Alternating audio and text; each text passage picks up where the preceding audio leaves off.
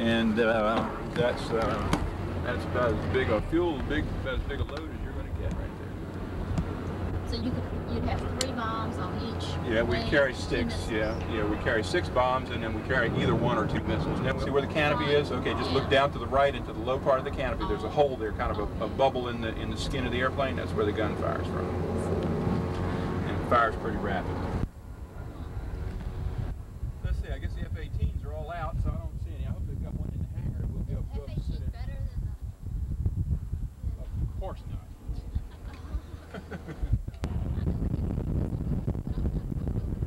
Well, a radar missile does the same as a heat seeking missile, except when I have a radar lock, a radar lock, the airplane would be-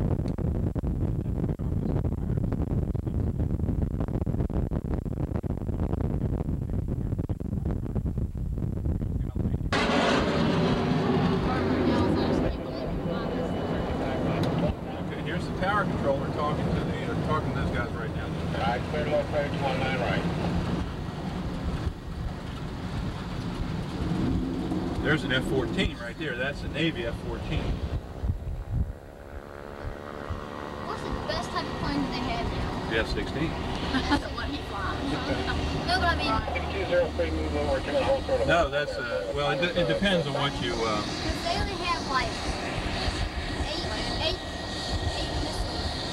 They only have eight missiles. How could they like? I mean, they have to land and get all. fire all your stuff. You gotta come back and get more so you can go back again. Thank you. Let's see, that looks like, We'll uh, stop one nine left. looks I like want an clear land, one nine. okay, this guy's gonna be full stopping up here. We won't be able to see him, but we'll wait for the other four to come in. Uh, thank you. Big change crew. Hustle nine, all right? This is, these are C-141s right here. These are cargo airplanes. They're not fighters like we fly. How fast can um the plane can uh, the F-16 go? F-16s, we can go, he landed. right, we can, we can go here. He's gonna land it. You see him? Remain my brakes, He's two gonna runway land heading full one stop. thousand five hundred. Unit zero two, clear land, one nine right, wind calm. Land up and do the front wheel first thing. Right, after you slow down. He keeps his nose up like that so he can aero brake. He uses the airplane to brake as much as he can. They, they, they're going a lot faster than they go.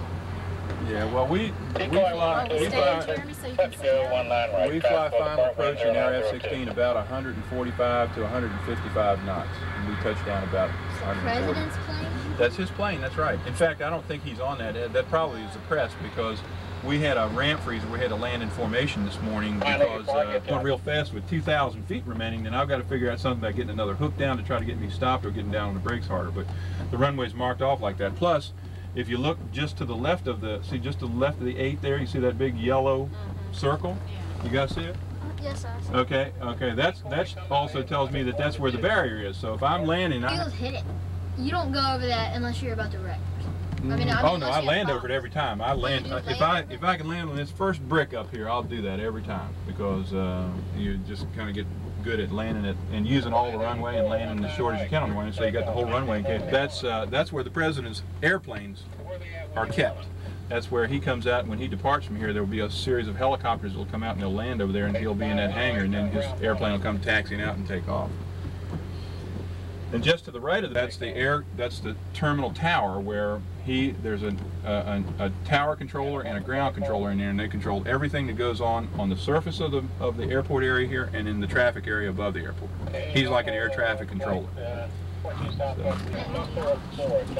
You were about, were you going to Desert Storm? Were We were we were ready to go, and, and of course only two guard F-16 units went, Syracuse and uh, South Carolina. So we didn't get a chance to go. We got to sit here and watch it like everybody else. You can see the numbers out on the runway there. See, there's a six, I mean a seven and a six and five, and those are real important to me when I land to make sure that I know, you know, whether I'm bleeding my speed down fat, down quickly enough to get stopped safely by the end of the runway. Well, the times that you've used that, you know, put your hook out and use Yeah. that chain, did you have to or you practice? Oh no, no, you don't practice that. I, you, that's one you, uh, that's one you only do it when you have to do it. The Navy does it. They practice it because that's a way of life of stopping for them, but we don't. So did your brakes? Failure one time in the F4. I had a, uh, an engine failure in the F4. I had a drag chute failure in the F4 um, in, in the F105. See, in the F4, that airplane I showed you back down there, uh, because it landed so much faster and so much was so much bigger than the F-16, we had to have a drag chute to slow us down. So when I'd land, when you'd see, you know, when he took, I mean, I don't have it all the whole time. I'm trying to figure. I gotta get out of the way here, so they're probably talking to me, and I'm probably shooting the breeze, and I'm not hearing anything they're saying either. Yeah, the way here. I always get upset when I'm That's taxiing the around. United States Navy. Yeah. uh, I don't have any idea. Let's see. here. Being able to practice approaches.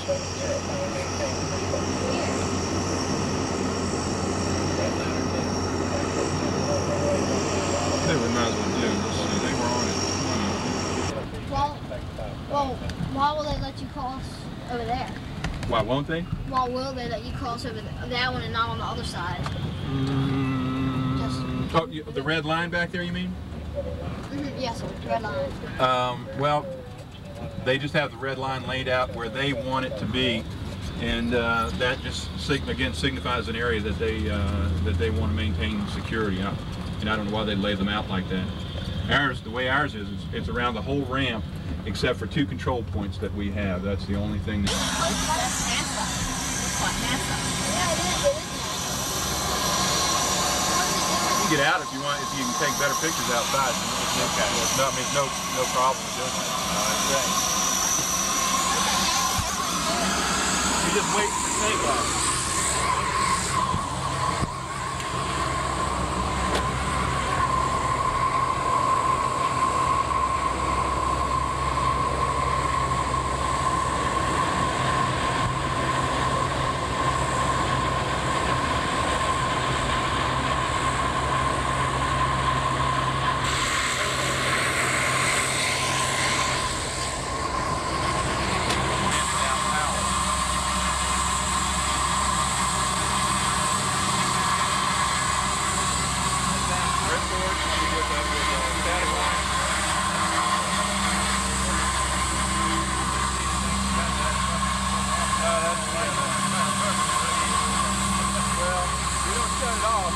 I can go on an airplane and you don't.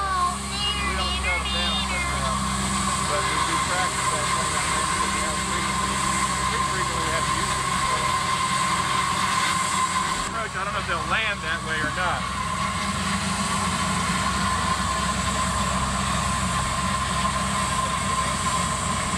I this guy take off.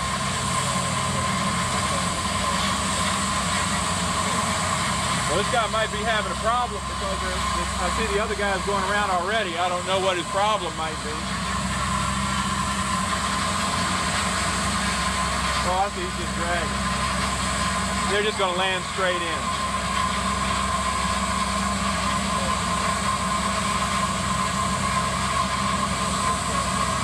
Jimmy, why don't you get out and take it a minute? You'll be on.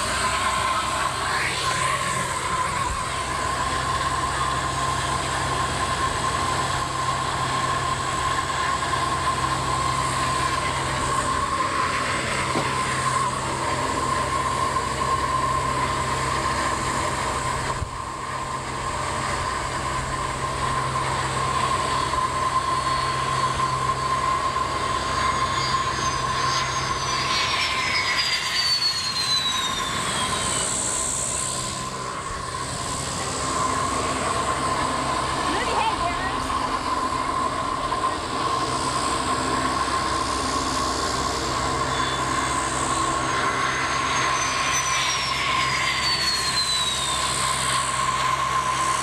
consideration for the weight of the airplane. That's why you have to aim at speed. If, it, if the airplane's too heavy, it's too slow, it's too stall, and then it's stall. So you have to add, when I come in, I have final square feet of Then I have whatever, how much fuel I have, I have to multiply times four for each thousand pounds of fuel. And I have to add that to my final square. Pick up two more per second to that. And what is the fastest they can go? no, that's no problem. What is the fastest they can go? Huh?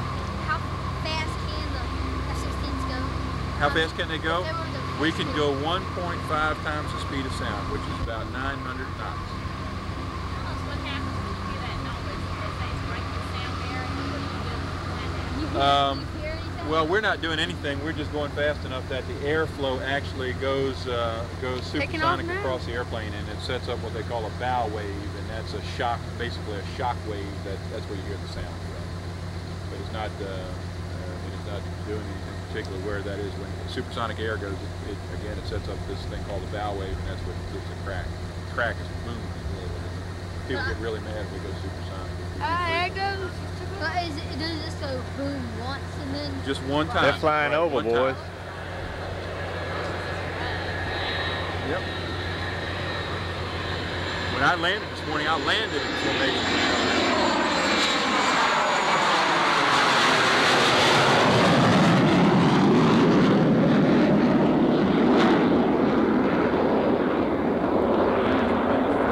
If I'm leading, I just fly normal approach, make sure I stay to the side of the runway so that my wingman can come down. And he, he just follows me in formation until we come down. And when he, You're side by side. Or yeah, we're side. We have three feet of wingtip clear, just like those guys. Look at those guys We breaking. would land just like they're going up for a closed pattern, probably. They may do a couple of knowing somebody's down there watching, and you can get to pull that airplane straight up in the air and go as fast as high as you want to. Oh, you mean that right now they can about do anything they No, want? they can. No, they have to do it less than 2,000 feet. Uh, if I, I have taken off here and requested an un, unrestricted climb, where I can take off an afterburner, and the F-16 can actually climb vertically and actually go straight up in the air. Does it ever? I mean, what happens if you go too far? I mean, does it ever? Hold on. Like I don't know if I'm flying a vertical tall airplane, Yeah. I barely even pull it. Go up like that, and you said just go. And it falls control. I've lost it. Really fast behind each other. Yeah, there. Those other two, Yeah. I thought, you know, there'd be a lot of Well, we can land in we can land in flights like that. We couldn't land that close behind another airplane.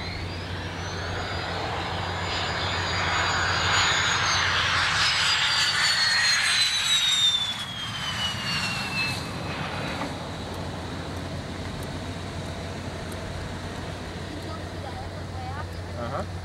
What is it? I have no idea what it is.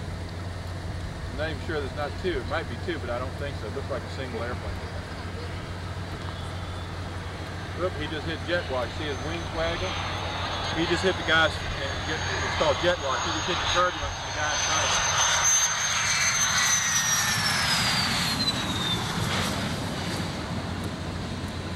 See, when he lands, you see him hold the nose up like that, and he does what we call aero braking. That means he's still holding the nose up so the airplane is still trying to fly, and it will cause it to slow down rather than because the one runway is really wet right now, and uh, if you get down on the brakes real hard, you can skid. We have an anti-skid system that, that every time just about I land, if I if I jump down the brakes real hard, you can feel it cycling. You can feel it let the brake pressure off and on and off and on and on.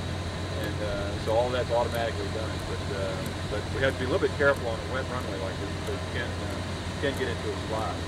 So they try to get slowed down. Yeah, that's an old C-130. All right, well let's That go back. We look at we can get to look at them a little bit closer. Stuff and. Uh, You have to type on a computer. well, yeah, and I'll show you the computer head. It's not like a typewriter head, but I'll uh, I'll show you that when we get inside. But yeah, when I get in, I got to spend about 20 minutes of putting stuff into the computer and getting everything set up and checking the radar and checking the missiles and checking the gun and setting up the weapons and uh, it's a lot of different stuff that uh, that we have to do. And he's going through the shutdown now, so he's taking stuff out of his. He's getting the information out of inertial. I see that they, didn't drop the bomb, so the weather was obviously too bad to get on the range. In fact, I think Shiv Kapoor is flying uh, aircraft 500. He's one of the guys from uh, that was in Desert Storm. I believe he is. But you'll, I'll, we'll ride down here, and I'll show you two things. Well, here's the guy coming in right now. No, we've got the best act. We've got the best air conditioning system in the world. I can get in that airplane in the middle of hot summertime, close the canopy, start the air conditioner, start the engine, and the air conditioner comes on, and I'm real comfortable. All the, Does the outside of the airplane get hot? Yes, it does. It does. If it goes real, if we go real fast and real low, it will get the skin temperature will raise, it will rise, and, and it'll get hot. It's not like an SR-71 or anything, but, uh, but um, well, yeah, because they're going real fast and they're real high. Wouldn't it be hot to touch? No, no, it doesn't get that high, but you can feel the warmth of it if it's uh, if it's uh, you know we've flown you know a particularly fast mission. Usually we don't fly that fast. I mean we we seldom break the sound barrier. In fact, there's only one place that we can do that. We go out over the ocean where we fly air combat and we'll fly, we can go supersonic out there. But you can't anywhere over the United States because people get really mad if you uh, break the sound barrier. Breaks windows and booms and a lot of other things that people don't like. Matter of fact. Well, yeah, you'll they'll we'll boom sometimes. I've gone supersonic unintentionally a lot of times. But they're down in the de-arm area down there. So what they're doing is actually putting the pins in the missiles, in the bombs, and in the guns, so that they can't fire. If you were sitting in front of No, that's all. Uh, that that when we're flying, air goes in here. and goes. Put this over the. Is it okay. recording? Now it is. So that's the VHF down. Lower that. Um, Yes, so. 2.0. This is Captain Jeff Rendon, one of our tough air-to-air guys out of our recent operational readiness inspection. Almost fell off the ladder. Did a great job there.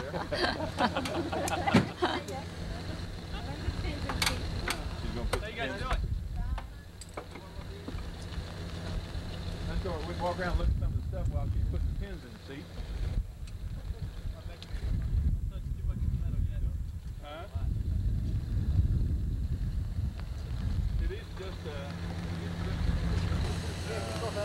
just, these are that we can leave on, or if, uh, we have to jet These are bombs here. Yeah, you don't want to touch them too much, but uh, they're pinned and they're okay because that little pin there keeps. Uh, this this is uh, called a TER, um, tertiary ejector rack, I think is what it is. And, and when they uh, when we put real bombs, which we carried in the ORI or carry in war, they would go on these stations here in place of these blue bombs. Oh, they'd be a lot bigger. Yeah, as a matter of fact, they'll stick out to about here, and they'll be about that big. and? Uh, yes, you could because when that when I when I push this button to have the bomb drop off there, what it actually does is it comes down and it hits that piece right there in a big chunk. That bomb is built so that it flies just like a real bomb. Just if I were carrying a real one, except it's smaller, but its trajectory and its speed and its uh, performance is exactly like a real bomb. Um, it seems like when you're flying that fast, to hit it, just the same as the. Yeah, it would, but it, it's not enough pressure to actually. it's not enough concussion. When they hit the ground, they're going about uh, about 480 knots. So when they hit the ground, they hit it pretty hard. A lot harder than Here's the missile, of course. This uh, I'll take the seeker head off here just for a second, but you can look. Here's the here's the infrared seeker head right here, and that's what senses the heat source on the target, either another airplane or whatever I'm flying, usually other airplane. And that's what it senses the other targets there. And uh, Why does this infrared? Infrared. this seeker head works. That's right, but there's no there's no motor in this missile. This is a this is a captive missile, and there's no motor or no uh, no rocket uh, Why, why did they put it on? because we use the seeker head so I can simulate. I mean, if I go out, it, it, it acts just like any other missile, and I can tell whether I fired or taking a good shot or not by coming back. And I'll show you how we can do that when we come back. Does Brian have enough questions? Okay, let's see. That's called the, that's the nozzle part of the airplane, and that and you if you uh, watch that when we're flying, that thing will be moving around, closing and opening, closing and opening, depending on what what uh, what power I've selected. Sometimes an afterburner is wide open, and then uh, uh, then other times it'll be real close. And, it, and it works automatically. There's a computer in there that runs that whole thing.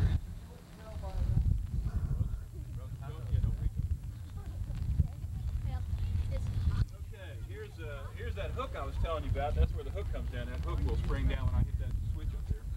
Here's something kind of interesting right here. These are flares.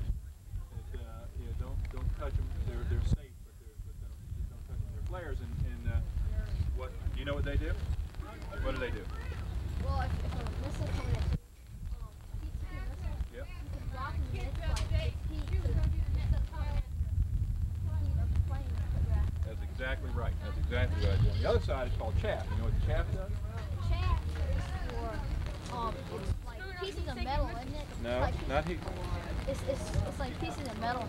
I know that, and it's Little pieces of tinfoil. And what does that do? um, that's for it's for it's for The radar. That's right. It'll it'll uh, it doesn't doesn't disturb the radar missile, but it will hopefully break the lock of the guy that's got me locked up in his radar. Did you learn that at least space give him a camp, false Ron? target. Did you learn that at space camp? No, man. No, he learned it off infiltrator. Okay, guys, come on, let's hurry so they can get out of here. Okay. That's a good idea. All right. Uh, yeah, because we'll, let me sit in the seat because you guys don't get to sit in the seat when you get inside. Okay, one of you come up on the other side and be real careful. Yeah, because it's, it's all wet, so it's a little slippery. You can turn around and sit right down on that seat. See what he's going to show you. There's not a lot of room in here, but I can use something. Jimmy, you want the camera? I'm not going to come up. That's the. You can see not on. But here's the button I push to drop the bombs with, right over here. And under here's the trigger that I squeeze to fire the gun. So you can see the. Here's the throttle. So, and I'll, I'll tell you a lot more about what these things are when we get inside and get out of the. Well, we call it play in the tickle because there's a lot of buttons on it. Here's the speed brake button right here. This controls my radar tilt. This controls the missile arm or D-arm. This controls the, the, uh, the radar switch that uh, in what mode I want the radar. This is the UHF and the VHF button. Here's the slewing switch that I can slew cursors in the radar. And there's probably about three more other things on here too. But uh, here's this. You're right. This is the ejector. That's the G suit. No, that's my G suit. That's my G suit. I plug my G suit in the. G suit when I'm pulling the nine Gs pumps up around my legs and around here and helps me force against the Gs. Here's the oxygen hose back here. That's the oxygen. And these are all rated.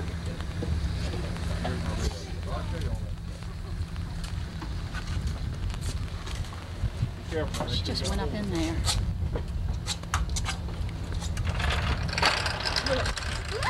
Ew.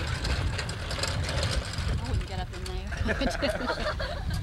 Whoa, somebody in there.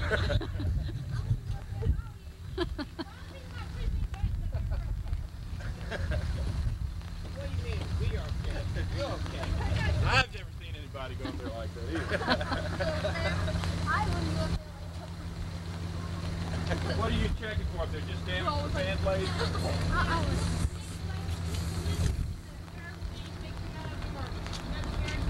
Come here, you guys watch and listen to it because this is kind of interesting. I've never even seen this before. Tell them what you do. Make sure there's no nicks or, uh, or cuts or tears in the blades, and then I also check the, the variable vanes. The first stage comes through, they direct the airflow going onto the blades for the flow going through the motor and make sure there's no looseness in the bearings so that if the bearings are loose, you get too much uh, slop in them, you're going to get a misdirection of flow, which cause an augmented blowout, compressor stall. Which is something that I got to worry It about. was a nightlight. No, uh, it's supposed to be a, it's supposed to be a, uh, okay, who wants to get up in there? But One of you can get up in there, go ahead. I'll show you some of the stuff. This is, uh, this is what we call an emergency procedure trainer. And you can see it's set up with a lot of the cockpit stuff, although some of the stuff is not real. We, uh, we use this to, uh, to uh, train emergency procedures. In other words, if, uh, and you can see some of them right here, that each of these steps there, there's a fire over, fire overheat, uh, fuel leak on start, and there's a procedure we have to go, and we have to be able to do that real quickly, of course, and, and make sure that everything is, is uh, done properly and done quickly, because it's an emergency procedure, and it's, it's what we call a critical action procedure, and consequently, we've got to practice them to make sure we do them right when it's time to do them. You have all But we'll sit, yeah, you, when you're sitting in here, no, we don't have any of that stuff in here. This is just purely to get your hands to move around the cockpit the way that uh, they're supposed to be in a, in a, in an emergency procedure. Again, it's practicing it slowly so that when it comes time to do it, you do it right, you do it quickly, and you do it properly. But it's pretty much set up the same way. This the? The stick doesn't move like this in the airplane. The stick doesn't move, it's rigid in the airplane, so the stick doesn't move at all. You just put pressure on it, and it, and it, uh, through the amount of pressure you put on it, sends a signal to the electronic flight controls, and it does, you know, tells the airplane what to do. Is this how you turn off? No, uh, no, this, this is totally wrong. In other words, even like that comes out, I'd be real concerned if that happened. Matter of fact, when I'm pulling nine Gs, I'm really pulling hard on this stick. And this is a landing gear. Look. That's a landing gear. Yep, it's- it's in the up position too. It's pretty scary. Go to the down position. But we use this to, to, uh, to, uh, put, uh, you know, do, again, to do the procedures. There's that hook switch. When I take that and put it down, that's when it blows that hook down at the back.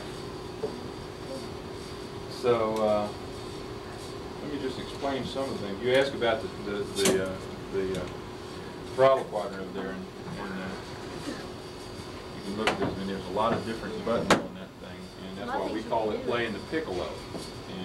And you'll hear a lot of times when the guy's heads up display tape, you'll hear him say a bad word because he's done something wrong with one of the switches and he's done it unintentionally. So it's, uh, it's kind of, you hear a lot of uh, words that you'd rather not hear today when we hear our tape. Here's an interesting thing too. There's two ways we can release flares. Flares, remember we talked about right here? That button right there. When I'm going into a target and I do my pull-up, well, I'm banging on the side of that side of that uh, canopy rail there because I want those flares and chaff coming out a lot. When I'm up and exposed, remember I talked about being when I climb up to get set up to do my weapons delivery, people are firing at me. I want them to have a lot of things to decoy their bad stuff away from me, and that's Does flares and chaff. flare? No, that's nose wheel steering switch and action range. Where's the Uh, other flare? Uh, it's on this button right here. It's, there probably isn't one on here, but there's a little pinky switch just below right here. That it's not on this stick, but some of the other airplanes have a little button that's A right lot there. of them they use that so I go. That's right. Well, that's why we have that one on it. Is this what your cockpit looks like?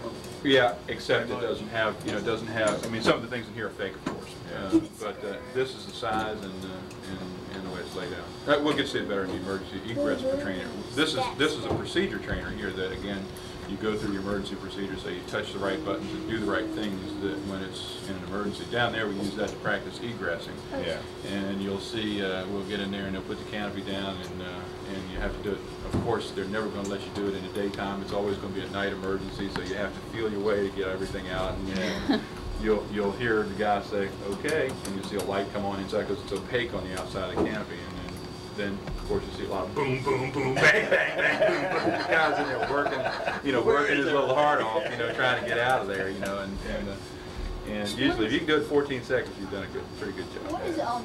I know this is like when they're when they're landing. I know they, what do they do? Like hold this down? No, no. They don't. Nope, you don't touch that button in the F-16. In other airplanes I've flown, you trim. You do a lot of trimming, what we call trimming. don't That's moving the control Do surfaces they so that have they... this in that picture? Sure they have it. And, and I can still trim, but I don't, usually the computer in the F-16 trims for me. So I just fly, I, I keep my finger away from that button. So I fly there. I mean, I'll always keep my finger on it, but I don't touch it. I don't move it very much. What is this button?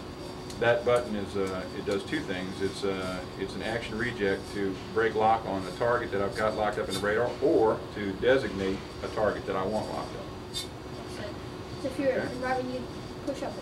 No, when I cut, when I see a target on the, on the radar scope, and you'll see, you'll, I'll show you what I mean when we get to my tape.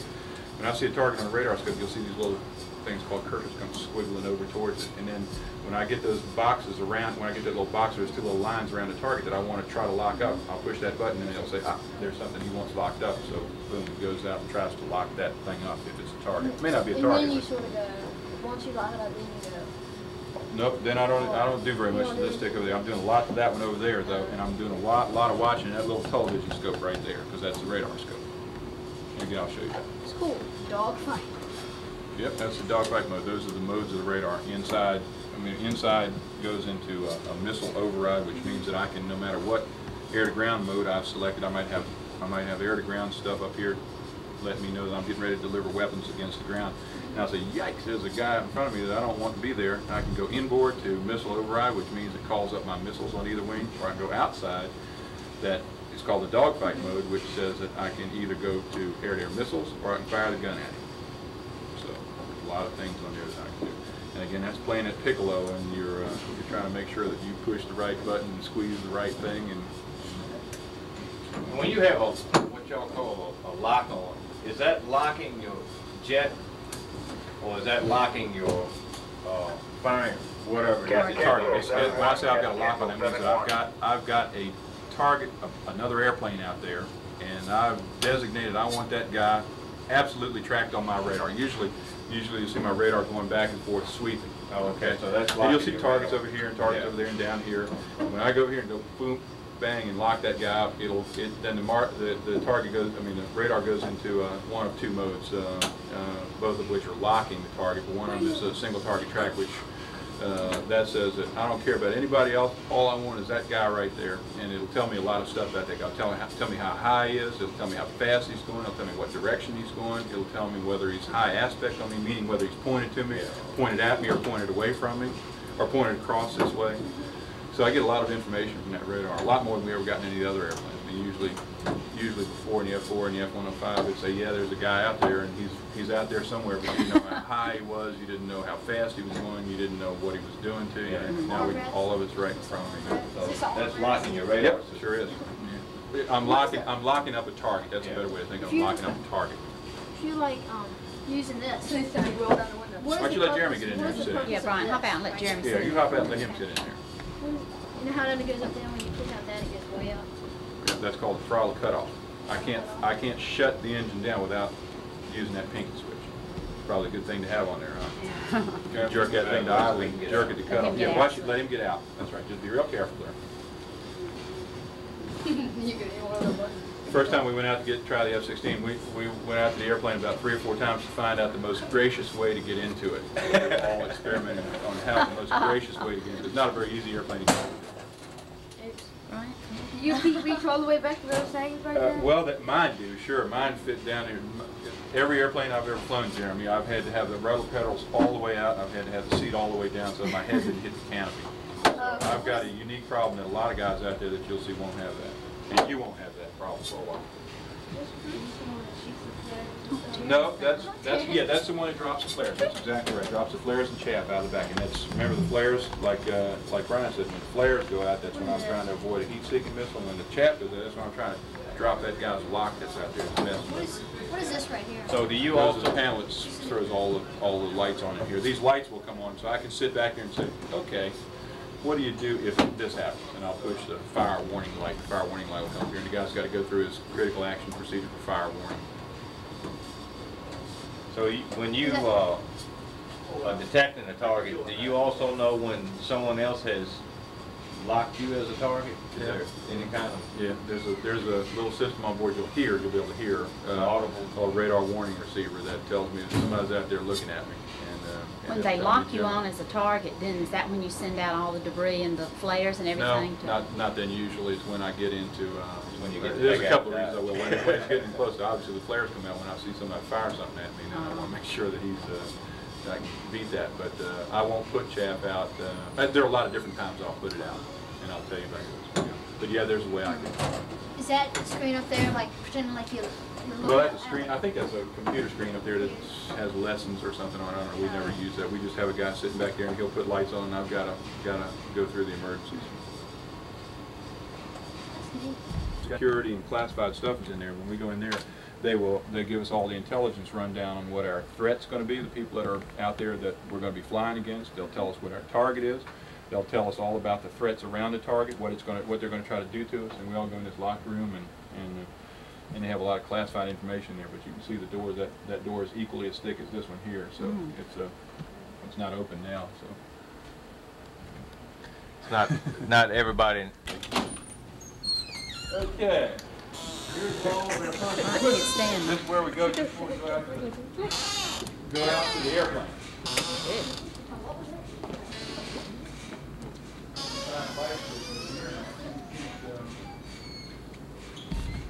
Well, we can get by without it, right? Matter of fact, it'll be more fun when you're trying to get out. of this Get all my stuff out, and I'll put it on, I'll let you put it on, and that's my helmet up there, that's right. Here's my helmet liner, and here's my gloves all that checklist and stuff I got. And I've got my G suit with me. And I'll uh, show you how all this stuff goes on. Matter of fact, it would be even better if you guys put it on. Let me. Okay, Brian, here, you, you put it on. Have you already put one of these on? A harness? And this, I bet we can get two more. We can get one of these and Jeremy can put one on too. Comfortable. Oh, it's plenty heavy. That's what you sit down on. Let's see, we'll use John Candy. Oh, I think you're a little bit big. Here's one. Here's one. Here, you put this on. I'll tell you what these things do. Here, this has it going up. This goes on like this, first of all. And then this closes up like this. That turned in here. And then the leg straps go one here and one on the other side. Get that. It comes through like this. These would be a lot tighter on the guy that we wear them. I'll show you how tight mine is on me when I get up because you absolutely don't want to get out of this thing. Or have life jackets. That's a life jacket. That's exactly what that is. And when I come down in the water in a parachute, when I hit the water, whether I pull these things or not, as soon as I hit the water, there are sensors in here that sense brackish water or salt water, and it'll automatically inflate those things in case I'm not conscious. When I come down, if I'm unconscious, it'll automatically come up, and it'll come around my neck and keep my head afloat. What about regular? Um, Like, freshwater? Hmm. You're not supposed to land in fresh water, are you? No, you can't. but if you landed in a lake, that, that's a good question, because if you landed in a lake that doesn't have salt water in it, you'd be in a problem. But the fact is, you would have rain problem then too. So every time you got into rain, you might find yourself with Mae West around your neck. So that's a very good question though, and, uh, and I think the answer is no, that it won't work in, in fresh water. What do you do then? Well, if it doesn't work, then I pull these things, don't pull them please, but, uh, because it'll get real big around you. Okay, and that's how the, that's how the harness goes on. Except it's tight, it won't slip up like. My, y'all see that, I'm quite a bit bigger than you are, so it's, uh, it's gonna be a lot more, and it has to be real secure around me, because when I, when I eject from the airplane, because I'm going real fast, or potentially going real fast, I could potentially be going up, you know, upwards of four hundred or five hundred knots, which I wouldn't wanna do at five hundred knots. I'd try to slow the airplane down, but once I initiate the ejection, everything is automatic after that, and all of a sudden, I'll find myself out in the parachute, and of course, I want this thing. No, no, I hope I don't. If I do, I've got real trouble then. All of it's supposed to be automatic, but if it doesn't, I mean, I know how to do it if, I, if it doesn't happen automatically, but it should happen automatically. Every, in fact, I, as soon as I come out, the next thing I ought to know is when I'm out in the chute, the chute's up there above me and I'm coming down. Have you ever had a, yeah? I've never had to eject. We just had a guy eject about uh, three months ago out of an airplane, though, that lost the engine, and he ejected. And he only went out at 300 feet above the ground, and he came down in a, in a, in a, uh, a river in North Carolina. In the, uh, in matter of fact, behind uh, uh, the Outer Banks, there's a place called Albemarle Sound. I don't know if you know the geography down there. enough. You know where that is? He came down in Albemarle Sound, actually the mouth of the Alligator River, where that comes out into uh, the sound. That's reassuring. So he was real lucky to, to uh, get out of that thing for one thing. Okay, help me. feet, that's That's not a lot. real low. Yeah. That's real low. He came out way too late. He should have, uh, he should have come out much earlier. um, I'll show you how those things go. You gotta put your, you gotta put your red hat on. That's what all The Red Baron. Keep that down over your ears. And then here, this is. that keeps Put this over your mat, over your face now. And see, that's, of course, that's gonna be a little bit tighter on me too. I'll get more- It's like a little baby elephant. Dumbo. Where are your ears, Dumbo? Hey, Brian, looks like an elephant. I know. Beauty, dude.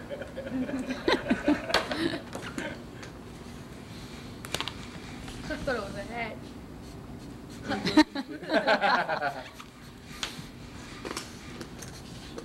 Okay, camper's helmet's a little bit different than mine, but, uh, there. Pretty heavy, huh? What is that? That's the oxygen hose, that goes, that's, which, oh, that's the mic cord, uh, along with my oxygen hose. Can you breathe okay? I don't wanna, we'll be talking, all of a sudden you'll go, boom.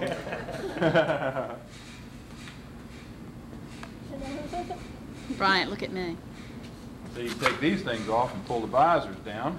I always fly with the visors down in case I hit a bird and a bird comes through with me. I don't want that to happen. Now, you all really Yeah, look I've like hit birds before, all right. Y'all look like feet from the deep. You've hit birds, have they come through the windshield? No, they never come through the Why windshield. um, Make you jump back out of it. They make you get real loose, I'll tell you. They're going, they aren't going very fast, but I'm going real fast. Or we hit them most of the time on low level, or on landing. We'll get them on landing. Can you see my eyes? Okay, let me tell you about the G-suit here. That's, a- this is a G-suit that I wear. No. This one, I probably wouldn't even be able to put it on you, but, uh, because it's pretty big, but when I wear it, we put them on like this. That's all right, it probably scratched. I hit it on the, when I was getting out of the airplane, hit it today.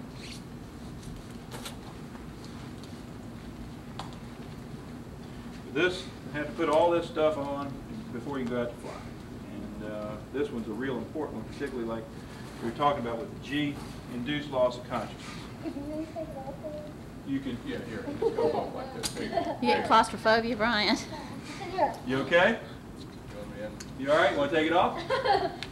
Oh. We had to wear those things. We had to wear those things with the masks up at summer camp one day for six and a half hours Mm, gosh. because because we were simulating we were simulating the fact that our base was under a chemical attack, and those were simulating our chemical uh, masks, our chemical ensembles.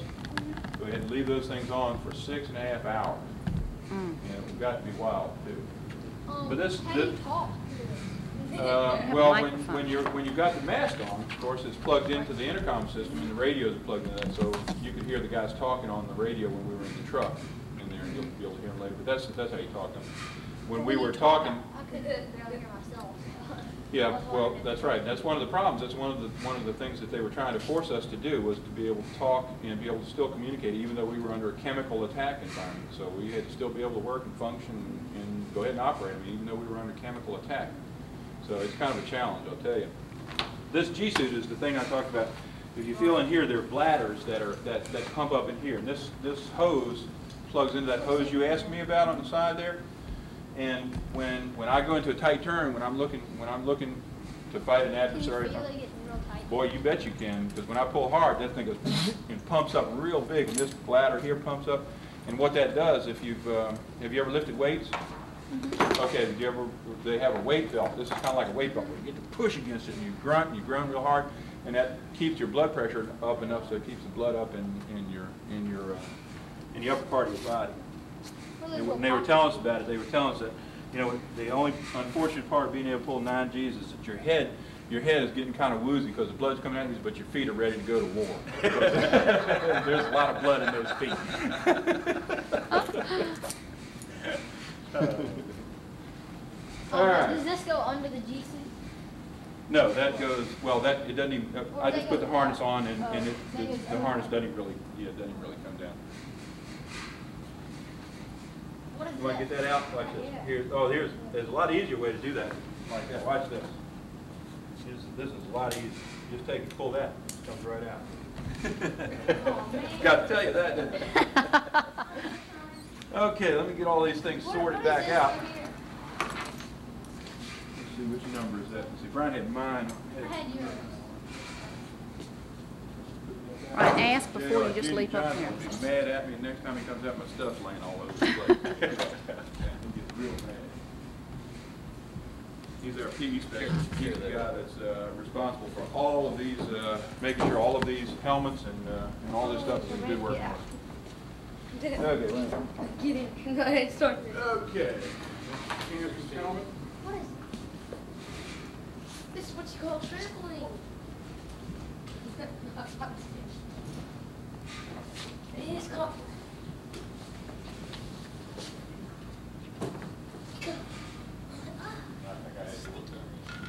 Ah, what is that? It's gonna drop on your head, Jared. Oh, goody. Maybe I can make it drop on your head. What is that? Right there. Elvis. torture chamber. We have to do, when we practice uh, egress, we also have to get up there and do what we call the hanging harness.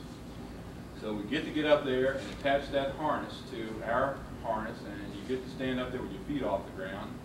And they ask you questions about what should you do? Should you pull your mask off? What happens if your chute doesn't open? What happens if there's a panel torn out of the chute? You've got to be able to answer all those things. And then what you have to do is simulate that you come down in a tree. So you've got to fish around out of your harness and get this, what we call a personal tree lowering device. And you've got to put that thing through, and you've got to put it through right, you've got to attach it correctly, and then you've got to cut yourself loose.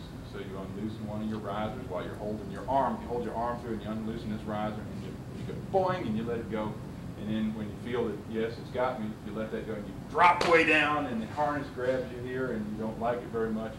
And then the worst is yet to come, because then you got to go to the other side, and then you drop about five feet down. And still, the harness has got you very securely there, but it's not always as comfortable as, uh, as you'd like to have it.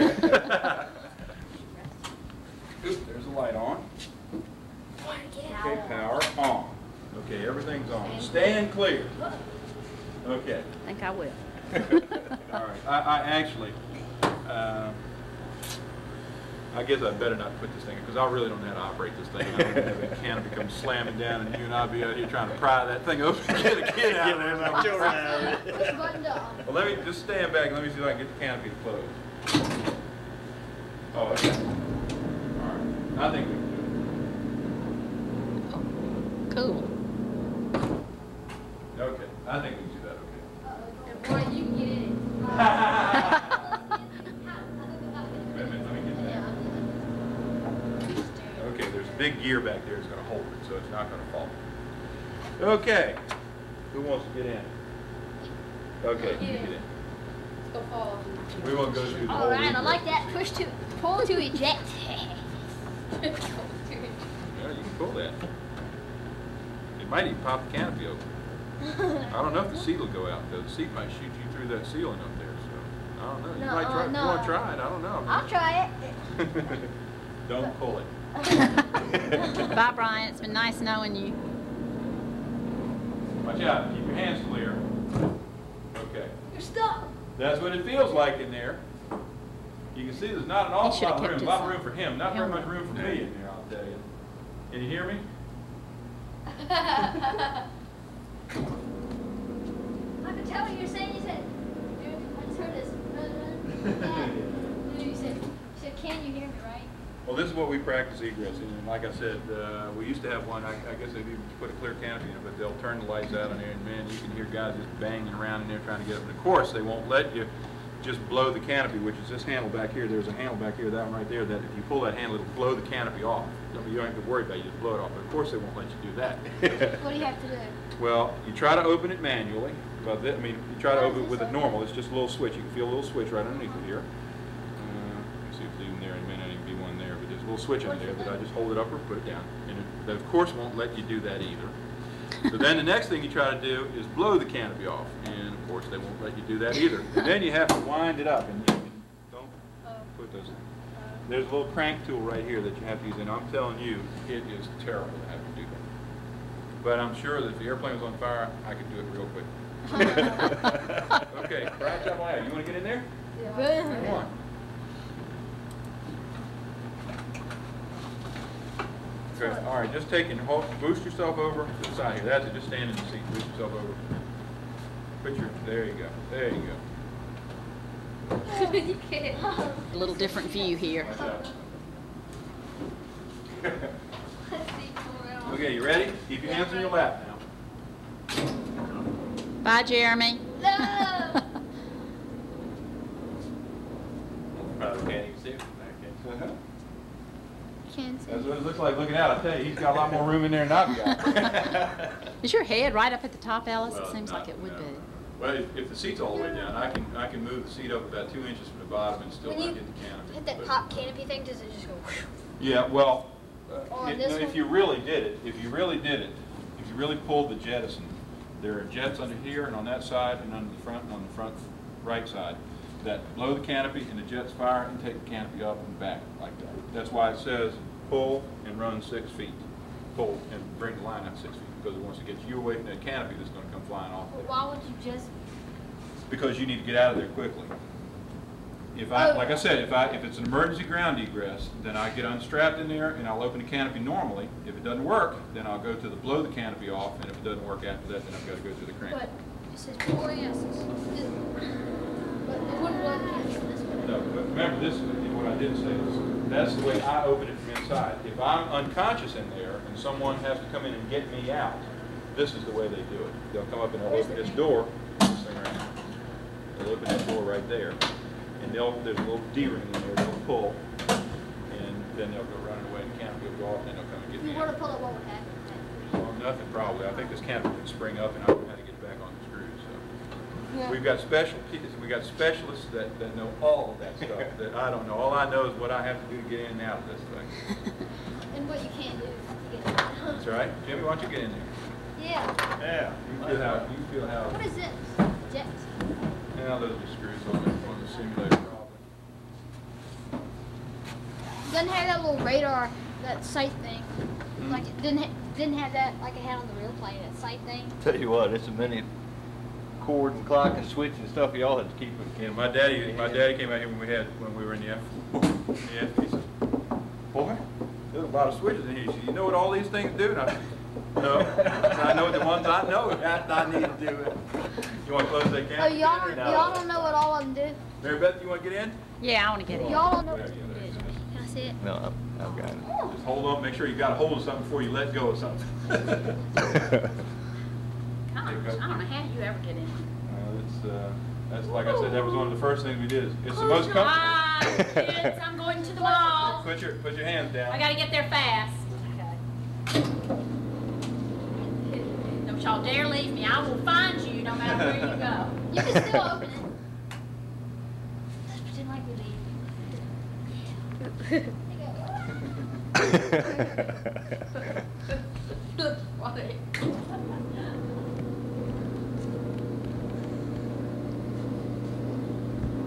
Well, you're the best looking pilot I've seen all day, huh? This is not Brian, don't shake the The, camera. the airplane is more comfortable than any I've ever flown because it reclines. The reason they, they claim. There she have to do is. everything. You don't- The woman still have who survived. Oh, yeah, you have to do it every, yeah, Oh, because you it's, that's something you don't want to forget. I mean, you know, we practice. And there he it is. becomes habit. Like The I said, man trainer up there, we spend who lot of time survived the jet also with the Just fuzzy beard. Seeing the light, saying, okay, I've got an engine fire now. I've got to move my hands to do the things that, that, uh, that comply And with that there he is. Or else. So I guess flying The every man week, who showed us it all. all those emergency things. The what? I guess- I said, I guess flying every week, you don't use all those emergency Well, things, don't, so but you'd you have to, no, but you better yeah. use Wait, people wait, stop. Stop it, wait. Okay. I think that's about it. And there it is. the alien. the ugly person named Germ. it's not on. And there it is. Okay, let's go. We take a look at some of the stuff that we did He this thinks morning, he's- and that's about okay. all I can show. Bye-bye. Different places. And what they are is either, we'll fly air-to-air combat, either in the uh, range in 4005 and 6, which is out of the Chesapeake Bay, just out east of where you guys live, along here. Or we'll fly in the Whiskey area here, the warning area. There's a air-to-air range. This is where we go supersonic out here, in any of these areas out here. Yeah. Nobody's underneath of us. What's all this stuff? These are just maps, of course, that have, have uh, what we call warning areas. These are areas that are, that are um, threat warning areas, that if somebody comes in there unannounced, then the United States would respond to them, and we might be one of the people responding to that. And, but these are areas that we, we practice in. That's the air-to-air ranges. Now, the air-to-ground ranges are, um, uh, one of them is 6609, which is in the bottom part of the Chesapeake Bay down there, Tangier. That's one of, we go down there, two boats down there that you'll see on the tape today that we bombed down there. Uh, Down in North Carolina, um, here's the Outer Banks here, of course, and we go to Dare County Range, which is a Navy range to the north and a- and an Air Force range to the south that has targets on the ground. We go in and attack. Um, Here's uh, Warren Grove at uh, Atlantic City, and then Indiantown Gap is uh, right here, just north of Harrisburg, uh, Pennsylvania. Are those targets still out at Tangier? Yep, sure are. One of them's just about blown away, and the other one still looks like a ship. The other one's been hit so many times, it doesn't Yeah. look like a ship anymore. The So- Dahlgren fires on those as well, though, or they used to, I Uh, don't know whether they do. I don't know, it must be big. Not though, from maybe all the Dahlgren, way but on the I, I'm bottom. sure ships fire on them, but I don't know what they do. But is it is it deep there? Because you Is it said, what? You said it's sticking out a little. No, it's not bit. deep. It's, it's, as a matter of fact, it's shallow because you can actually, actually see the ship hull is now sitting on the bottom. So it's really not very deep. But do y'all use real torpedoes? No, we use Oh, bombs. We use those little blue yeah, bombs. We, we do, we do put, uh, we do put, sometimes we put five hundred pound bombs, but they're concrete filled instead of, instead of with, uh, with explosive. And if you if you would hit one of the ships with those, there'd just be nothing left, right? Uh, With a bomb? Oh, no, it's, there'd be a lot left. It'd be, if we hit it Well, where we're mean, supposed to hit it, it'd be pretty tough though. No, it'd still be there, but, uh, it it would be, I can tell you, they wouldn't be, uh, they'd be in pretty tough hurt if we got a bomb inside the ship. They're, that'd be a pretty tough, uh, pretty tough shot. Okay, um, what I'll show you is, uh, is, uh, again, we flew the mission this morning. We took off from here. We were supposed to go to, yeah, Uh, so y'all hit them with the smoke bombs, right? we put them with the little, little Yeah, smoke, smoke. yeah, little smoke charges, little blue bombs. But again, they fly the same as a real bomb, so all of the stuff you'll see in the heads-up display is exactly the same. Exact, no, they're not the same weight, but they fly the same way. And I would release it at the same distance, I'd release it at the same speed. And that would make a difference how much it weighed. Mhm, Make a big difference. It it doesn't make any difference because that bomb is designed to fly like the real bomb. Oh, Okay, so it doesn't matter in this case, Oh. but, uh, but it's, it, yeah, right, we want it to fly exactly like the real bomb, because we don't want to go in there and drop practice bombs thousands of times and then go to the war and then say, oh gosh, now we gotta drop it differently. When it goes, when it's time to go, we wanna do it just like we've done it thousands of times. Okay. Um, we started out today, we were gonna go to Indiantown Gap, we were gonna fly a low level in there and simulate a high threat attack, and we had a tactic drawn on the board, but that didn't work because the weather was bad up there and we couldn't even get into the, into the range. In fact, they closed because I think the Army's on it. So what we did, we decided we were gonna go into the four, into the, um, into the Patuxent area range there, and we went in, and we went to the boat first, so we bombed first, and then we went up and did uh, intercepts, uh, where I was a band at one time, and the other guy was a band at one time, and, uh, and I'll tell you a little bit about that when we get into it. Let's see here.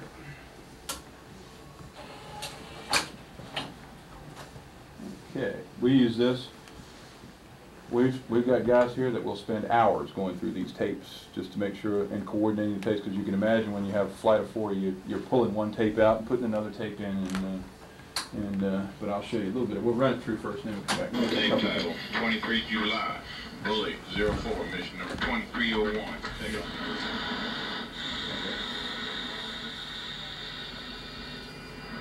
What is the? Okay, tape title, I'm Bully, 02. That's mission today's number mission. 1301, 0. Say again? What? You know how it does this on the screen? Let me, it? uh, let me get it on there and I'll stop it now and you can, okay? What are you talking about? These numbers here? Yes, sir. Yeah, that's called my heads-up display. That's where, that's, um, get it off there. That, uh, what that basically does is takes all those instruments down on the instrument panel and displays the readings up in my heads-up display right in front of me, so I don't have to continue to look down. I can look straight through my canopy and look through that, in fact, at another target. If that were another target at me, he'd be way too close. I'd be real concerned. But I'd be able to see how fast I was going when I hit him. That's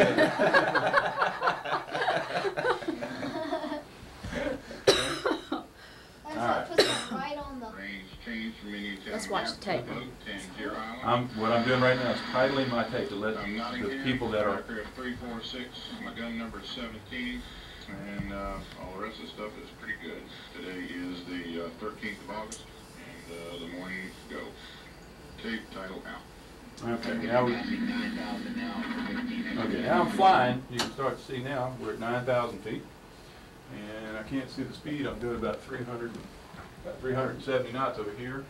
And, um, that's where it is. I'm headed to the south, about one seven five. So I'm headed, I'm basically up here, and I'm headed right down along this piece of land right here. You won't be able to see too much. Road really wasn't too bad, too good today. Corner straight here. All right, let me just. Okay. Hear that sound? Mhm. Somebody's looking at me. Somebody's looking at you. You'll hear it a lot better later on. You know who's looking at you? Nope. 8 miles, 30 left at uh, 15 to 17 maneuvering. Correct. Beam aspect. What do you think it was? 41. Contact with Texas 281.8. 281.8, Bully 1 push 12. For final first course Okay, now we're starting to the ground. Now I've selected the ground display. This is, now the radar is looking at the ground and you can see, well, here's not Tangier, but whatever it is north of Tangier. There's the coastline going down and we'll get down into here. And I'll, uh, actually, no, I'm, I take that back. Here is, um, this is Tangier right along here. That's, that's Tangier.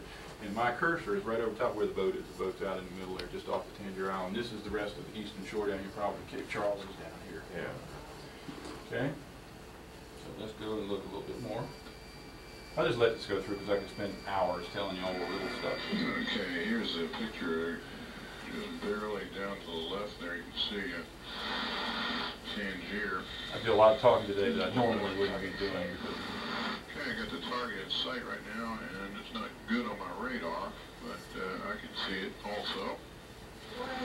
it's underneath here. It's- These cursors are so big that you can't really see the target. Slide over here to that, see if I can get You might see it in a second. Okay, I just went to heads up. Now, see, I can select, I can select whether I want it to see my radar scope or whether I want it, the, the film to see outside, which is now we're looking outside in the heads up display. Okay, you wanted me to clear the left boat? Okay, Get back here and see it. he is, right in the middle of that box, I'll break the lock on him. Okay, there's my leader right there. You can see him moving away. See him? Oh, Okay, I'll- we'll see a lot more of that, I hope. I can't believe that guy's still sitting there after that pass. Yeah, he's not, doesn't like he's cranked up, it just looks like he's cruising, but he's cruising down to the southeast.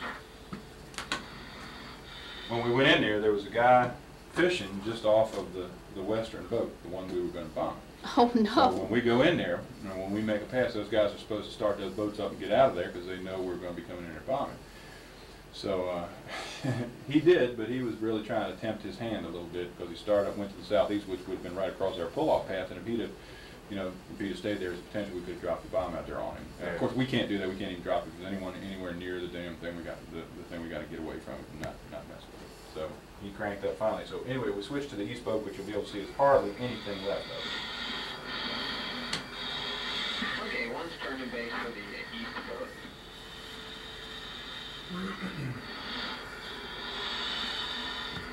Like, when, when could you have dropped the bomb on him? Another guy on final third. When, in, in just a second, I'll, tell- I'll show you just a second here. Okay, I'm just selecting my area of ground now. I'm still in simulator, I'm gonna go arms now. I just went to arm, that means I'm saying, all right, I'm gonna get ready to drop something on somebody. I want to see the boat. Well, you won't see it yet, because they haven't rolled in yet. One's in, recorder's on. Okay, I'm on base leg right now. Okay, here's the way we bomb. Here's the target, well, here's the boat right here, okay? It's like a boat. And this is, this is the way we came, up. there's another little pile over here, and we came across this, and then went to a downwind out here, and so we're turning in, and I've just called base, I'm right here, he's just called in, so he's right here. He's just turning in to come down and start his attack on the boat, okay? I haven't started mine yet, so. You'll see the boat, just- well, you won't see this very good, because uh, I tell you that Thousand feet is what we're gonna be running in, the large chunk on the eastern boat. Okay, I'm starting to speed up now. I'm doing 400, 410 now. Final. Okay. What was ours? Slightly to a That's thousand. Tangier you're looking at right there. There's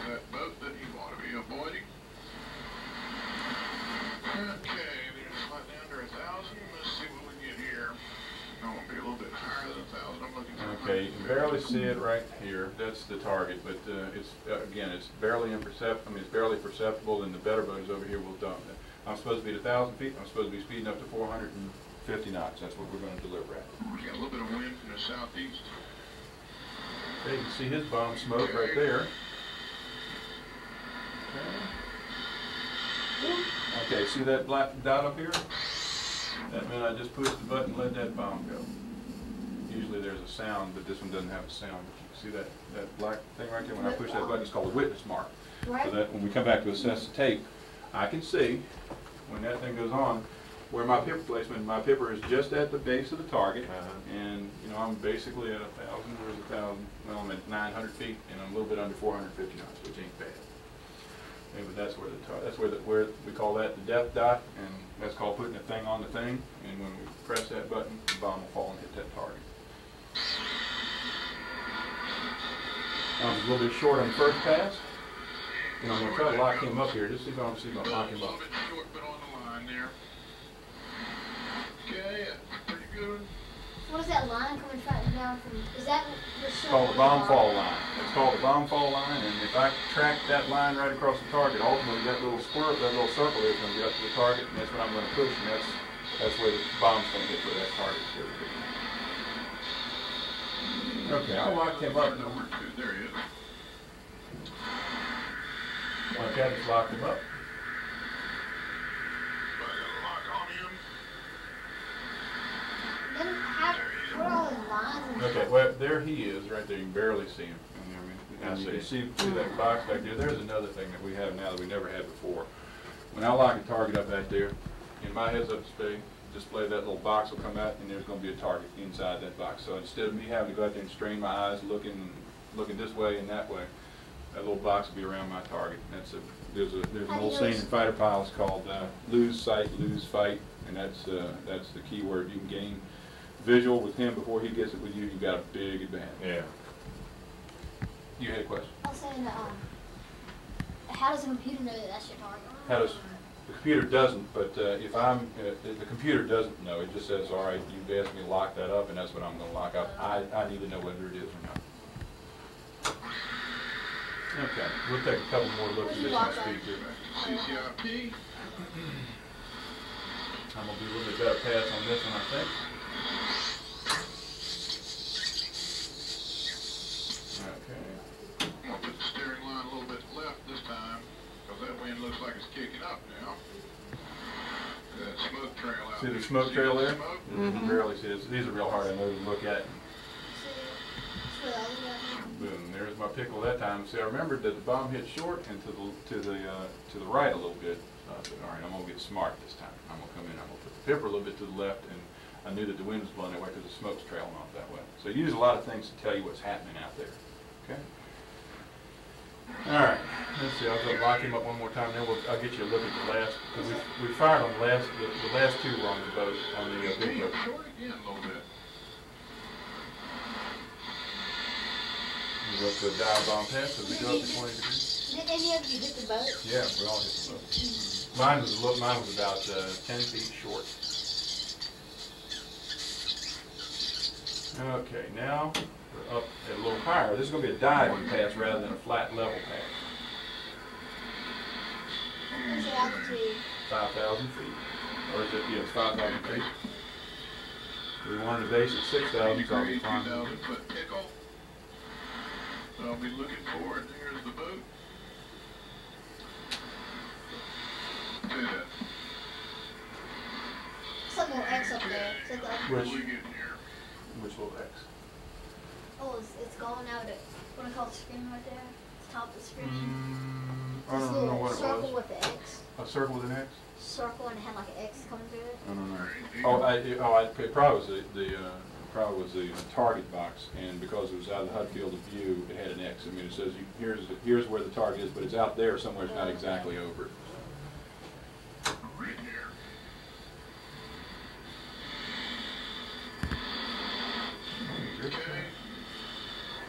Okay, we're diving this time.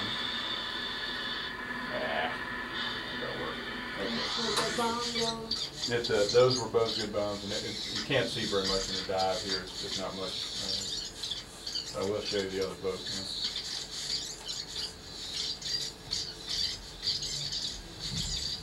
And those two dive tosses.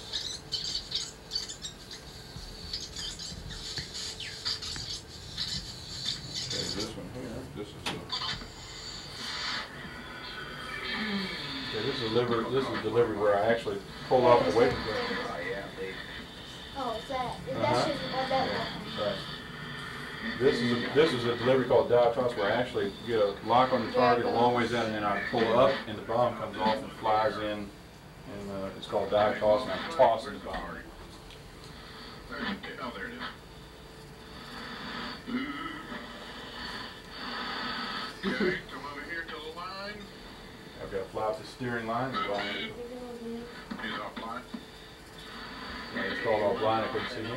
Turning downwind. Hey, Vito. Alright, let's set up for a seven mile final. Okay, this is good, the area stuff, this is all, but those are examples of what we come back and we can tell whether we've done good or not. So do y'all usually come back from every flight and critique yourselves on, you every, every Guys like me won't stay as long as others will, because I gotta go to work a lot of times. Plus I'm old as a hill too, so they don't make me stay very long. Okay, as soon as we get over here, we'll set up on, uh. Why is it not as clear as some pictures you Um, why are these not as clear as some that you saw? Well, because there's haze, for one thing, on airplanes pointed in different places, clouds around. This is not a particularly good picture, there's some that are better, plus the sun wasn't out very good either, so. What time was this? This morning, we took off at eight twenty-four. Okay, let me go back here a little bit. Okay, here's an air-to-air radar light. Looking for you to you cleared operate, uh, restrict six six nine, exclusive use, four go? thousand. Here, that will take this one. Right across the screen. There goes again. What is it? I've it? got him locked here. Where, what is? Oh, that, that's the target box, that's where my, that's where the guys on got locked up. Yeah, I mean, I'm talking about that little circle that's always moving around. Okay, I don't know Yeah, it's what that- inside the tr- box. yeah. Has a diamond there, that little diamond? Mhm. Okay, you know what that is? That's, that's my missile, that's where my missile head is looking right now. I've got it slaved to that box. In other words, if I lock a target up, the missile head will automatically go to that box and will, so my missile is already looking at that guy. Now, if I reach down and push this little button on the top, you'll see that, you'll see the diamond expand, and then you'll hear, you'll hear a grrr, and then it'll go whee.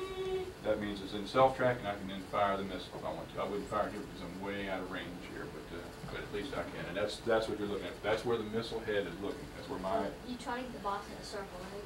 no, you Why just, not? you let the box go where you want it to, where the box is, you want to keep, keep it out in front of you if you can, but, uh, you just, uh, you don't try to get the box anywhere, just, uh, that just tells me that that's where the guy's, because I can't make him go where I want him to. I can make him be where I want him to in front of my airplane, but, uh, No joy on that. Okay, we're setting up for uh, interception now, and what we were, what we were gonna do, uh, we worked in the area here, and uh, we were gonna split the area. Um, Guy I was with was gonna come up to the north area, and I'm staying down here to the south area, right along the bank here. And we set it up so that I was gonna be the, I was gonna be the fighter the first time, and that meant that I was gonna be the guy that was simulated going into a target, and he was gonna be the bandit, and he was gonna be the guy that was gonna come and attack me. So when I when when I finally picked him up, I was supposed to run a maneuver that was to try to deceive him or get away from him, and um, and so that I could uh, at least defeat his attack and get me in a merged position where I could actually work against him or, or, or fight against him. It's, it, it, that's a real. It's hard to boil down all of that into one simple phrase, but we were just getting apart, and, and he was a bad guy and I was a good guy. Okay. Top artillery. You don't have like, not? I'll show you this. Well, I, we didn't take any shots, so it's hard to, but you can tell, you can tell whether I was in the right parameters, in range, right aspect, good missile tone, uh, all of those things will tell you whether it was a valid shot.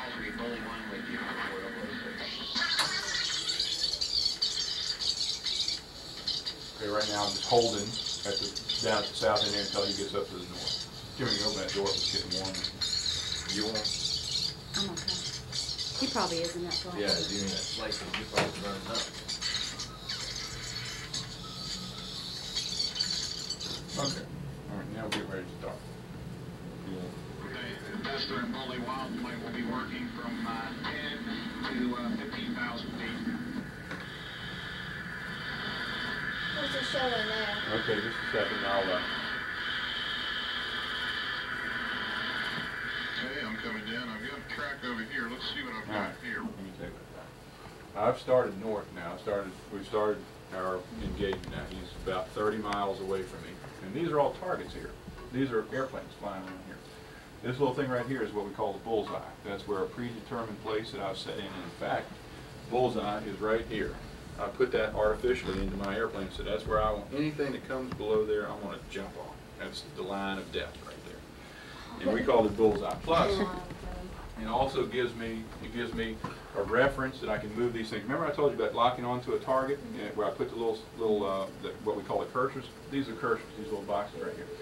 And right now, you'll, when we turn it back on, you'll see these numbers jump around, and they'll jump around relative to where this thing is. So it's telling me, here's bullseye, which is the middle of the area, and right now, my cursors are right now positioned 308 degrees for 15 miles from that bullseye. So I know where I'm going. Now, when I'm, if I've got another guy, and I say, okay, I've got a contact 308 for 15, he can make his numbers down here read that, and his cursors will be over that target too.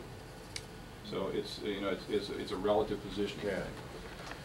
And these are targets. Now, I've just looked at this guy over here and said, well, is that my man? Hmm, I don't know if he is or not. He's not where he's supposed to be, but it might be a guy. And I know there's some guys over here, and you'll see me search a couple of targets. Bully one, contact 28523, Angels 4. All right? That's him right there, actually. Okay. Contact's on target. Contact is not target. That's right. Negative up 213 for, uh... all those little boxes are targets. Well, they're, Is that what you said? s- well, yeah, they, s- yes, yes, they're targets. Um, What are those little things that are? These are called chevrons, and that's, that says, my radar's telling me that there's somebody out there, electromag, like another radar out there that's emitting a a signal. I don't know what it is, but I know it's out there. So what I could do is shoot my little cursors up there and try to lock those chevrons up, and might find a target underneath of them, but I don't know. So I haven't really figured that out. I know he's supposed to be out here somewhere, so I'll, I'll just be kind of patient here for a while and see what I find. See, he just made a call. He says, uh, I got a contact at 215 or something at, uh, at, at 8,000 feet. Well, I knew that wasn't me because that wasn't where I was. I, you know, I want to make sure that he knows so he doesn't go running against somebody that's he's not, but it might be an airliner, it might be a fish spotter, it might be a lot of other people we don't want to be running against. You kind of, be kind of disconcerting to be a fish spotter out there and see an F-16 come blasting across you. Come wheel two. Come one five on two seven zero point eight. Come wheel, yes, thumb wheel two. I'm gonna wild one, still your free. Wild one. Okay, there looks like a good target to me, so I'm gonna go lock him up. All right, I just locked him. See, I just, when it went to a diamond, it just went to a, let me get a good frame here, there, diamond been? Diamond means that I've just locked that target up. I'm gonna call the situation awareness lockup. That says, yeah, I've got that guy locked up and I can tell what he's doing. I know he's zero to eight for ten, I know he's six thousand feet, and I know we're closing at each other at eight hundred and thirty-nine knots. So we're each going over four hundred knots. And you know that's a plane? You know, Mhm, Yeah, I sure do. And it You feels know, like if you locked in like on a fishing boat, it'd say zero up there for the. For the six No, it wouldn't lock a fishing boat because it's not going fast enough to be even on my oh. scope. My, my scope will say, Shh, that guy's not even going fast enough. I know that's not an airplane. That's what my radar's telling me. And in just a second, you'll see a target block come up here that has a lot of information on it. Oops, okay, there it is. Okay, now I know it's a good, I know it's a target now because here he's, it tells me not only that here's the target, that's his altitude, but he's headed two four zero, that means he's headed southwest. And he's doing six hundred knots, so he's going real fast. yeah. And I know that his aspect is 150 degrees, that means he's looking at me at about like that, instead of like that at zero. He's looking at me like it's called aspect angle. Have you seen the F-16 uh, game on uh, computer? Mhm. Yeah, it's called Falcon. That's, uh, it talks about all this stuff in there, and, uh, you it's called an aspect angle there. So that's, that's my target right there. Now remember, I'm the guy trying to deceive him, so I'm not gonna be attacking him directly. In fact, what I'm gonna do is turn away from him for a while to try to trash his lock or break his lock on me. And then I'm gonna come back to him and try to pick him up and shoot him. So, let's see what happens. Contact looks like target I'm at thirty-eight, and I've got, uh, contact at, uh, Zero two zero five two five, five five thousand feet, high aspect. What's that little plus? Attention all one? aircraft, secondary for them. What little plus? I mean that little um. This? Yeah, this little X was going. I know, you just Little- wanna little watch plus. Oh, oh, That uh, right there. uh, It tells me I gotta fly, it tells me I gotta fly that direction to have a head-on collision with it. It tells me what direction I've gotta do to get my best intercept, and I'll get what's involved. Miles down, south, Virginia, on the six-six nine to exclusive, four thousand five hundred blow from Fish Brothers. Okay, I got the contact, he's one sixty left. Oh, I'll set him a little bit left just to make him cold here. Okay, I just turned this way away from him to get him a little bit, I wanna get away from him a little bit because, uh, I think I can, I think I can work with him, and if I, if I think I can work with him, I wanna get away from him a little bit to get what I call, what we call turning room. If I don't think I can work with him, I think he's tougher than him, I'm gonna go as close to him as I can, so I don't give him turning room. So it's a, it's a, again, you ought to get that book in that computer game, if you like computer games. What? Okay, you hear that noise? Spike, that means he's looking at me and he's locking me. This will be BFM, offensive BFM. You know those things that um means they had radar lock, radar going out. Those. Chevrons? Do you? What do you think those were like? Ships or something? Mm, No, they weren't, they weren't anything. They won't come up on my scope because they're not moving. They have to be moving at a certain speed, even my radar to even look at them. They won't even look at them unless What, they're moving. what do you think that was? That was radar. Mm, Probably him emitting a radar. If those little chevrons come out like this, Yeah. that says there's somebody there and he's emitting a radar energy. I mean, I don't know who it is There's and I can't see a good target. the top of the screen. Yeah, yeah, that happens a lot of times, a lot of interference. I mean, there were a lot of airplanes out there. We had, Oh, we had, yeah, we had two other guys working air combat above us at uh, ten thousand and below, and above, we had ten thousand and below. So, okay. Let's see what happens. Going ACM, Lou. Check. Broke lock. He wasn't very happy that I broke his lock. Okay, again. See if I up. I feel him back in the first one. What is that little string moving around? It looks like a little snake or something. It is. The computing cycle. Well, when change my frequency. Okay, he just said no joy. I said continue. That means that don't worry what you got. I got you in sight, and then it's my ball game. That's that was one thing. It's nice. It's always nice to be able to say continue. 4.8, 354.8. What's that little snake thing? That's a, that's a, if I were tracking another airplane. Only one, terminate. Only two is, ter is terminating, uh, just passing under your nose. What that is, if I, if he were out in front here and I were tracking that line we're going across, that means that's where my string of bullets is going. Uh, if I, that's on top of his airplane, I've got that little witness mark on up here with my trigger squeeze, and bullets are going to be going into his airplane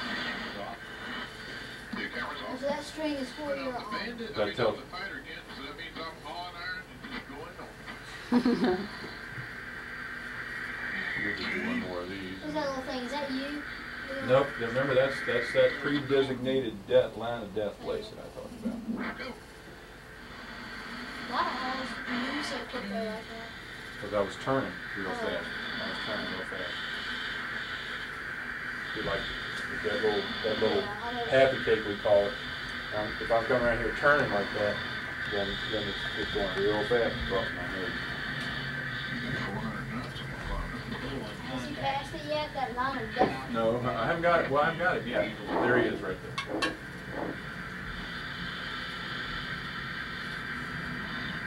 Two is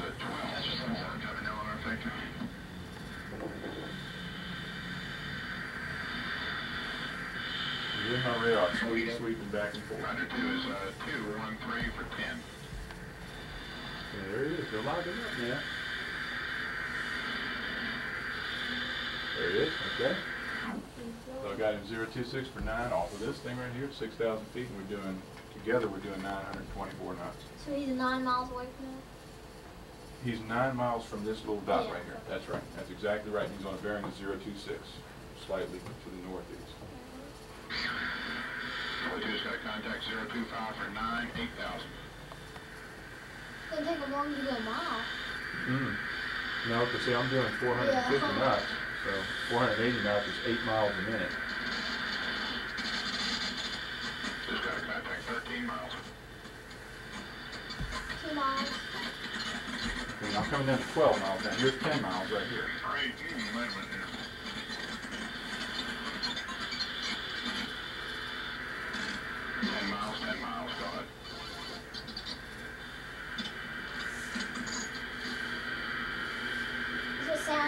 the radar?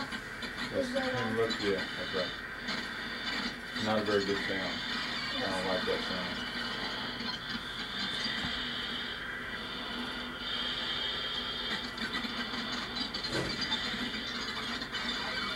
That's good. Why does it do that? Is it? That's one thing about trying to. Why does it make that It sound? has sensors on my airplane that picks up, that's warning me that there's somebody that's It got ought to have something like a beep. I don't know, if it chose that sound, and that's the one I don't like to hear. It's an irritating sound anyway. Okay, where's it? Dying cat. Drop lock. Get in. To terminate. In one thing, stop point your third one. Okay, that's, uh, that's, I wish we had the other tape had, where we had one where, where we had engaged the F-15s and the F-18s a couple times. You've seen some good gun camera film, but I don't know where they got the tape. If you'd see a little F-15 or a little F-18 underneath of those firing lines, and that was, uh, kind of a fun tape to watch too. We get an awful lot of information and practice out of these things because, uh, we basically can come back and reconstruct the whole mission off of these tapes. So. But that's about it. What kind of questions you got? Asked most of them during the film. Huh? What? I asked most of them during the film. Uh-huh. Well, that's, uh, what we do is an awful lot of fun, and, uh, I've been doing it now for a long time. I had, uh, I guess I've got about thirty-seven hundred hours of flying now, all of which has been in fi- in fighters or fighter-type airplanes. Have you ever had to fight?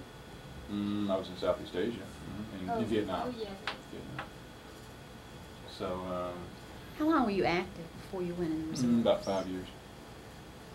Was that right out of college? Was that No, I worked for two years in Washington before I went into the Air Force, and then uh, I, uh, when I, gosh, when I came back from Southeast Asia, it didn't look like there was any need for fighter pilots around very much, so I decided to get up, and then I had the opportunity to come to this guard unit that was flying the F-105 then, and I jumped on it.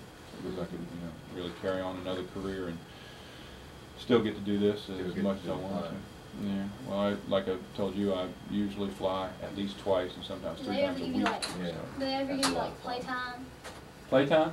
Mm, don't give you playtime, but sometimes what, what will happen is if I'll go out and say a flight of four, and for whatever reason I might have an airplane problem, okay?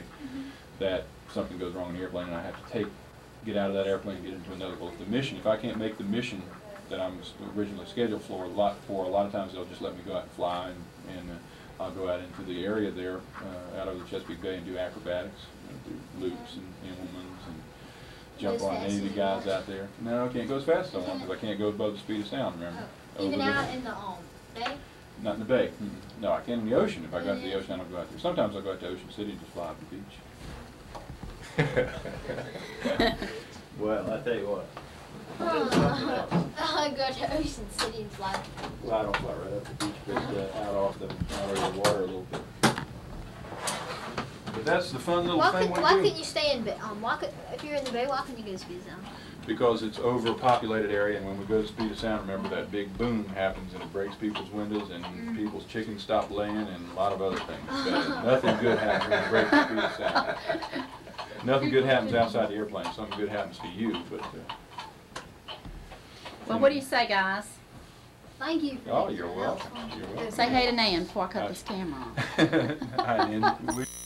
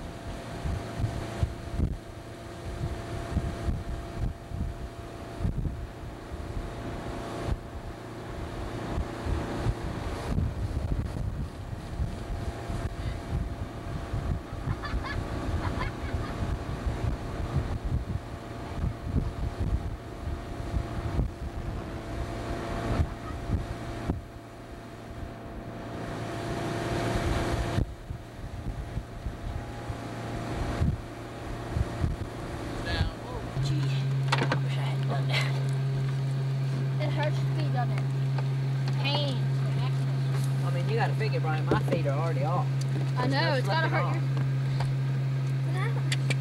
Do you think Becky ti- boys. making the strap tighter will help? Girls, whatever you are. It's Matt, I didn't do too well. You did oh, my last time skiing I did. Brian, you did too, honey. Where's that? Oh. Hide a slide I didn't Pardon do me, good. what?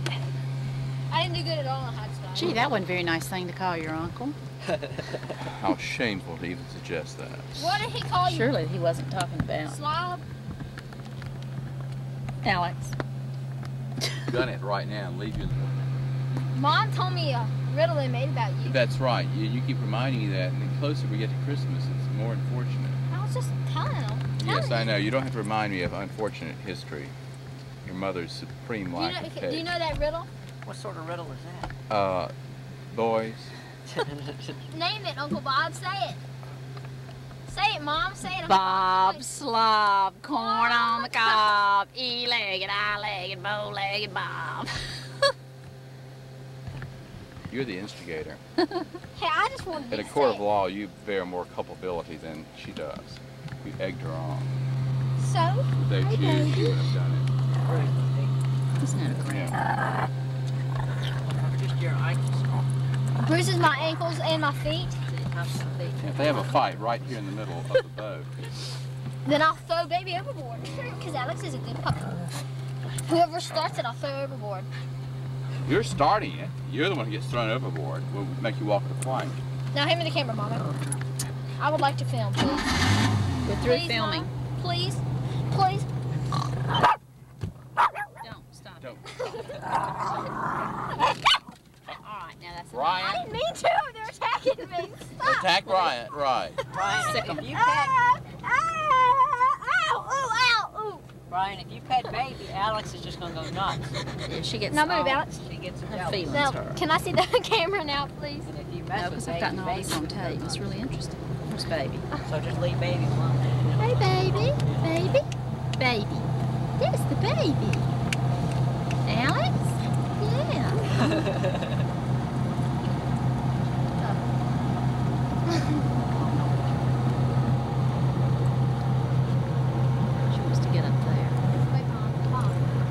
She's fine right there, Matt. If you start going fast, tell me so I can make sure, Mom, look baby. at Alex. Look at Alex. Alex! Watch this. Look at Alex, Mom. I've looked at Alex. Alex is sweet. Look at Bob.